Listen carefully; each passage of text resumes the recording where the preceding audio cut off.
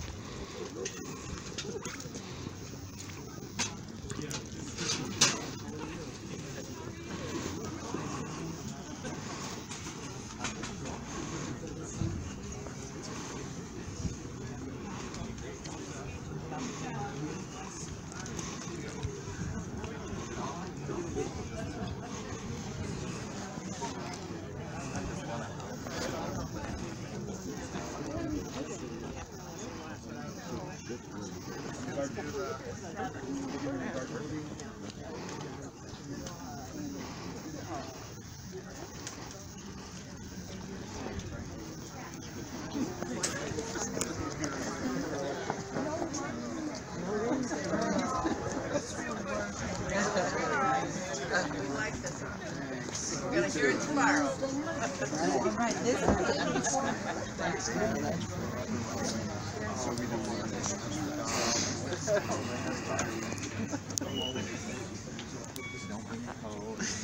the day you really know.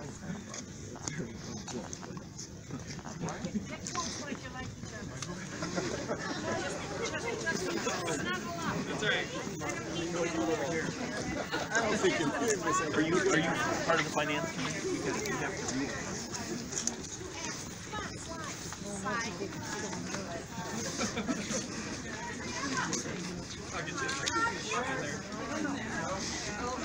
All right, I'll pop in there.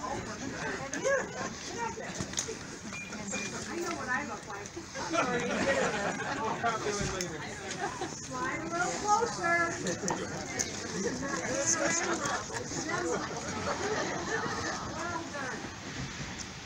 One more for the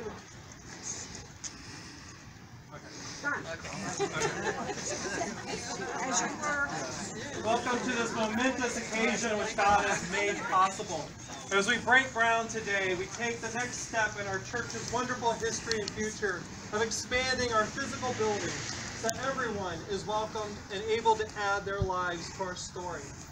God has heard our prayers, blessed our gifts, guided our plans, and provided needed wisdom to create this vision and this dream to become a reality. Let us worship God by responding aloud with me in a responsive call to worship in your bulletins. Let's respond aloud. No one can build a home with any greater material than the love and grace of God. Our church is our home and is built on the foundation of Christ. Who stands as the doorway to a holy and sacred life? And in whom we are being built together to become a dwelling in which the Spirit of God lives. So then we are no longer foreigners and strangers, but citizens with the saints, and also members of God's household. Built on the foundation of the apostles and prophets, with Christ as the chief cornerstone. I invite you to join with me in prayer. Eternal God, by your breath, your word, and your potter's hands, we've evolved this land from mud and light into a holy space where we worship you. In the fullness of time, you baptized this holy land, so it became sacred ground upon which we stand and kneel and worship you.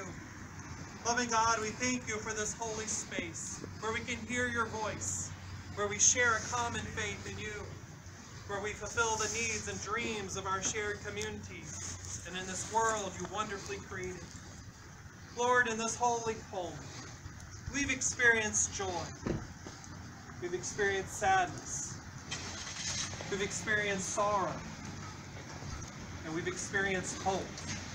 This holy home is where loved ones have married, were baptized, were confirmed, and left their lasting legacy.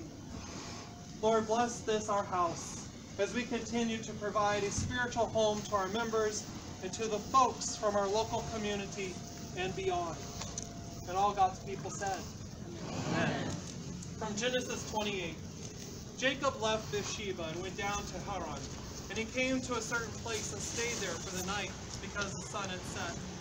Taking one of the stones of the place, he put it under his head and lay down in that place. And he dreamed that there was a ladder set up on the earth, the top of it reaching to heaven, and the angels of God were ascending and descending on it. And the Lord stood beside him and said, I am the Lord, the God of Abraham, your father, and the God of Isaac. The land on which you lie I will give to you and to your offspring, and your offspring shall be like the dust of the earth, and you shall spread abroad to the west and to the east and to the north and to the south, and all the families of the earth shall be blessed. And you and your offspring know that I am with you, and I will keep you wherever you go, and you will bring you back to this land. For I will not leave you until I have done what I have promised you. Then Jacob woke from his sleep and said, Surely the Lord is absolutely the doctor. Well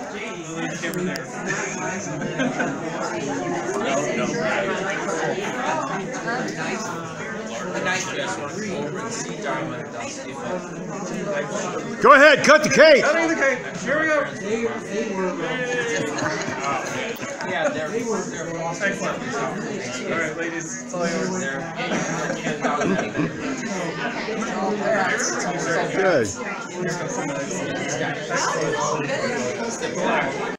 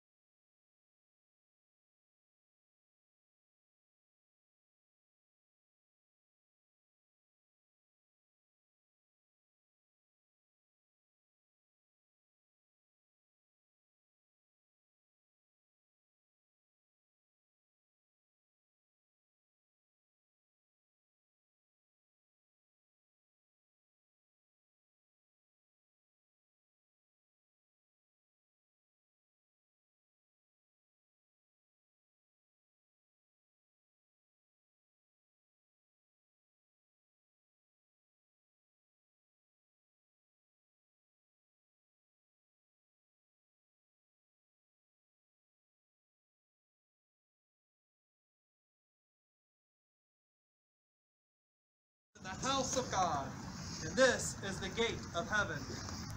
So Jacob rose early in the morning, and he took the stone that he had put under his head, and he set it up for a pillar and poured oil on top of it. He called that place Bethel, but the name of the city was Luz at the place. And then Jacob made a vow, saying, If God will be with me, and will keep me in this way that I go, and I will give my bread to eat and clothing to wear, so I will come again to my father's house in peace. Then the Lord shall be my God, and this stone which I have set up for a pillar shall be God's house. And of all they give you, I will surely give one tenth to you. I invite you to join with me in your bulletins for a responsive expression of our community. Please note there are different voices that appear in this responsive reading. Let us respond aloud. In the name of God the Creator, the Son, and the Holy Spirit. We gather to break this ground and commit ourselves to the building of a house of the Lord for worship, praise, prayer, fellowship, and study God's word. We gather to celebrate the vision provided to members of our congregation and listening so we can be guided into this future. We thank God for this marvelous day and this community as we love each other and commit ourselves to God. Thank you, Lord. As we stand on this sacred ground, we express our gratitude that we are part of the larger church in the world, and we, by expanding our facilities and our vision, purposely bear witness to our faith within this community to share that faith and provide a church home for all who would enter these doors in honor to you, O caring Lord of all. Thank you. For the spiritual opportunity of sharing resources and prayers, and for the ability to share ourselves, thus contributing to the life of this faithful body of believers. We express our gratitude to you, O Lord. We affirm today our continued interest in this Welcome All building project and the spiritual growth which will be provided to all people. The Board of Stewards.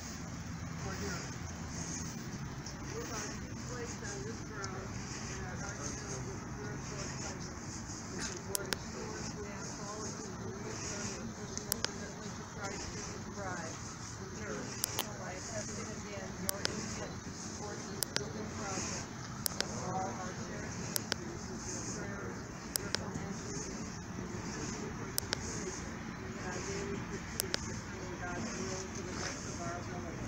We commit all who have and all we are to you, O Lord, as we together take on this task. as the one you have entrusted to provide the practical talent and expertise to construct this building.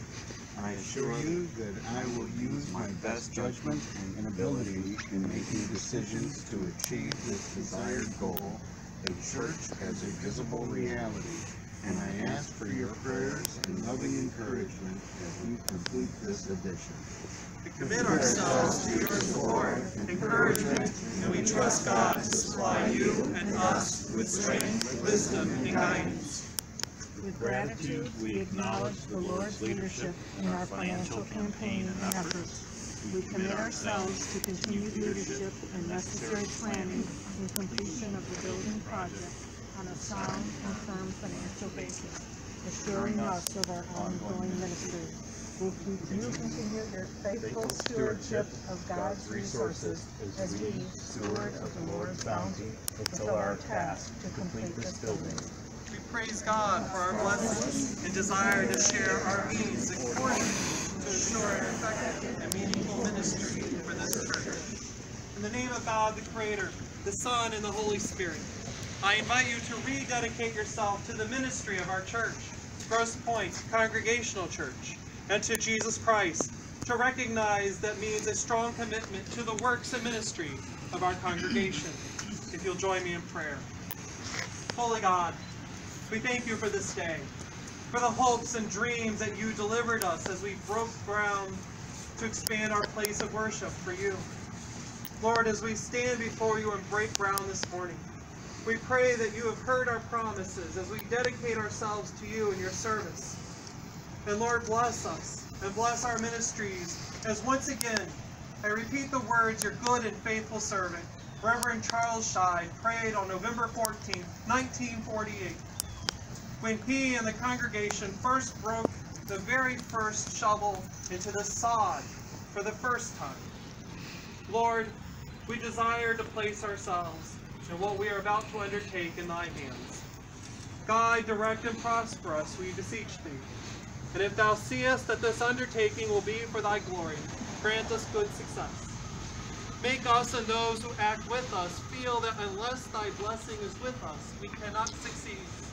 And that except the Lord build a house, their labor is but lost that build it. Guide us then, O Lord, in this and all our doings with thy most gracious favor. and further us in with thy continual help, that in all our works begun continue, and ended in thee, may we glorify thy name through Jesus Christ. And God, we once again pray for your blessing upon this project, as we repeat the words of your Son, praying our Father, who art in heaven, hallowed be thy name. Thy kingdom come, thy will be done, on earth as it is in heaven. Give us this day our daily bread, and forgive us our sins, as we forgive those who sin against us. And lead us not into temptation, but deliver us from evil. For thine is the kingdom, and the power, and the glory forever. Amen. So at this time, I will break the first part of ground, breaking through the sod, and then each of you are invited to come forward to either tap at the ground, dig up a piece of the earth, or just pose for a photo, your option. But as you do this, we shall sing the wonderful hymn, Joyful, Joyful, We Adore Thee. Joyful, joyful,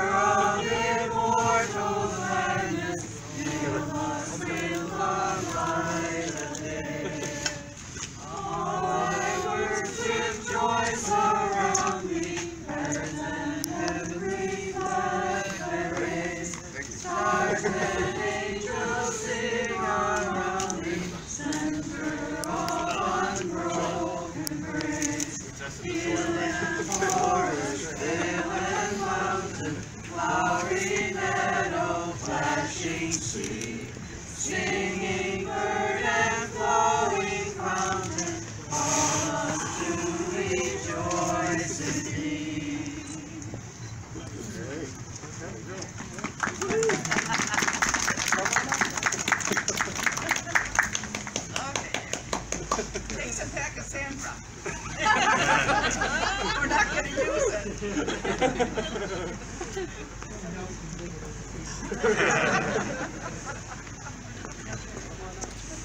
then we do have refreshments back in the lounge, so we encourage you, invite you to shovel and then come on in. It's going to be a wonderful celebration inside. I'm gonna do the duty to help.